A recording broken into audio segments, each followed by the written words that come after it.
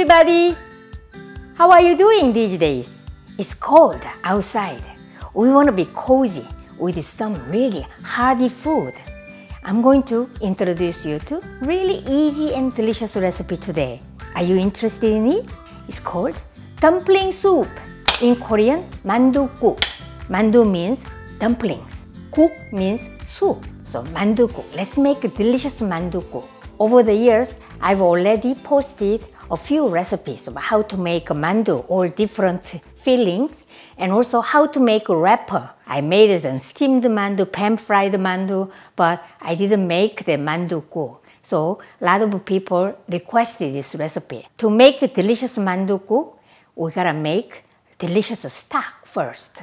I'm going to use beef brisket and then make a nice stock and then just dump homemade mandu. That's a dumpling soup. You guys might be thinking, oh, I don't have time to make a homemade mandu. What should I do? You can use just the store-bought mandu. I bought some frozen mandu from Korean grocery store. I'm going to show you later. Let's make stock first. Add 8 cups of water. So I'm going to bring my brisket. So this brisket has to be really delicious. When you buy the brisket, it should be a little fat inside. Let's cut brisket.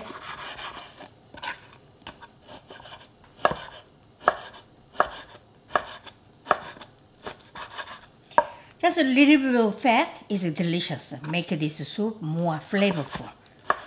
Sometimes the brisket doesn't have any fat, it's not tasty. When you boil this, it has to be a little bit fat. This is a half a pound brisket. And three garlic cloves.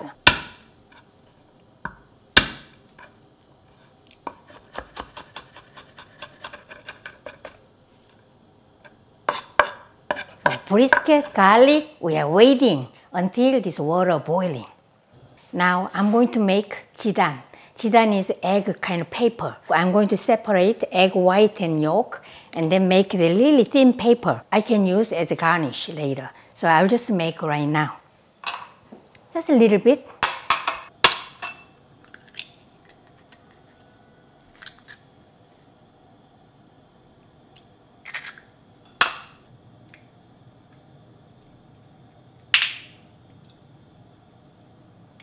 Little salt, pinchy pinch. Some stringy things, the egg yolk.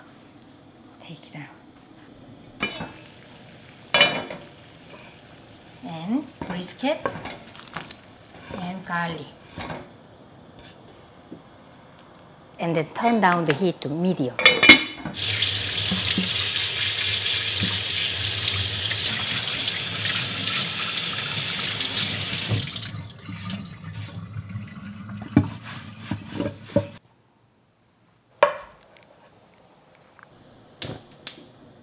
So this is vegetable oil, a little bit.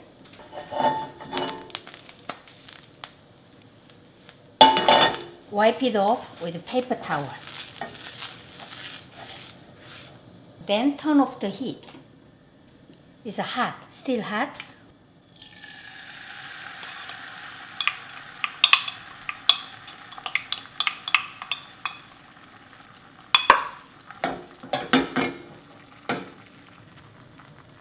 We turn off the heat, but with the leftover heat, we still can cook this so that it's not going to go brown. So I'm going to flip over. So it's cooked. Yellow paper is done. And here, let's do white. Same way. And wipe off with a paper towel and turn off.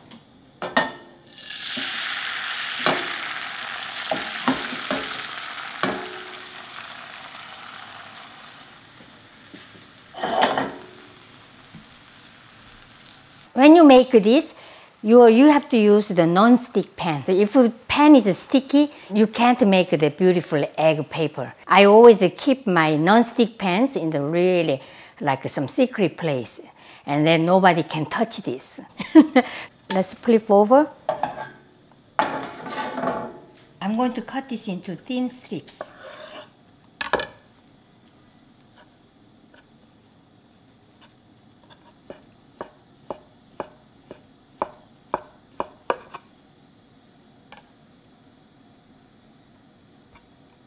So I'll wait until it's cooled down. Store-bought mandu. You can go to Korean store. In the frozen section, you can find this. So I found this kimchi mandu. So it's inside the kimchi. Kimchi dumpling with pork, but you can make, a, you can choose any kinds of your favorite filling inside. And I'll bring my homemade, homemade mandu. So shrimp mandu. So shrimp mandu and beef brisket stock go well together. Think about it, so shrimp, you know, seafood and beef. It perfectly go well together. This is my mandu, homemade mandu. When I make a shrimp mandu, it's a pleated kind of mandu shape, folded nice beautifully. But uh, for mandu soup, I prefer kind of look like a hat, hat shape. So this is, you know, my mandu, shrimp mandu. Have you guys made this? When I make mandu guk, I use this style.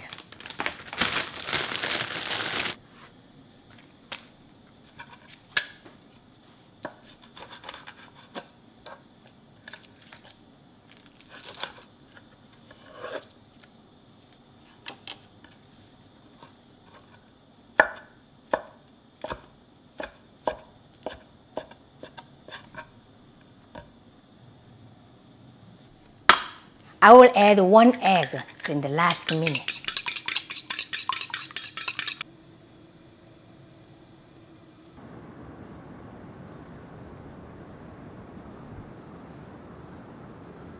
Thirty minutes passed.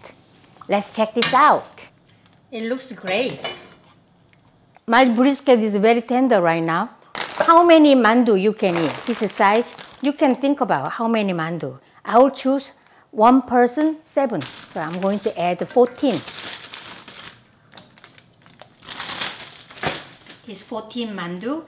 Let's turn up the heat to medium high. And cover. We need to add green onion. This is green onion, large, large green onion called 대파.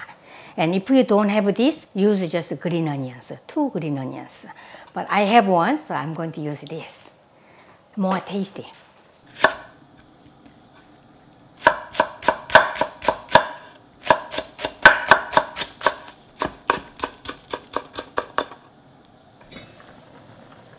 So you see, it's floating, floating to the surface. One tablespoon fish sauce. This guy is sensitive, it's going to be broken easily use a wooden spoon like this. Nicely cooked. Let's taste. Very good. And then green onion.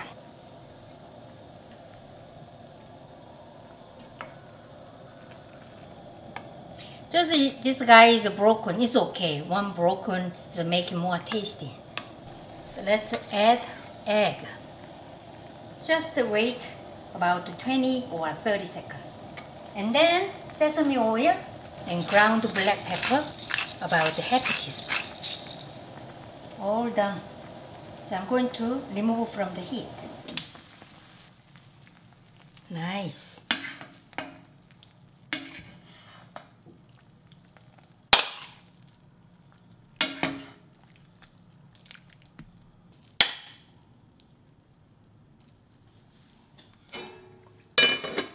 So this is mandukku and let's garnish this. This egg paper, as I told you, this is uh, like when you have some party and then you make it really nice looking, you can make it. But with family, you don't have to make this, right? But I like to show you really beautiful way. That's why I made it. This is optional. We made the mandukku today. It's easy, isn't it? Really colorful and tasty looking. The kimchi, my winter kimchi. I have some other side dishes in the refrigerator. I don't need anything else. Mmm, mmm, nice. Brisket stock, so delicious. Mandu, good looking mandu. Mmm, shrimp flavor, so tasty. Succulent, juicy. Texture of shrimp is very springy and chopped Asian chives and tofu, soft tofu, really melting in my mouth. I want some brisket too. Mmm, delicious. Outside today is so lot of snow we have now. I feel really cozy. After eating this soup, I'm going to go out. So today we made Korean dumpling soup, mandukgu. Enjoy my recipe. See you next time. Bye.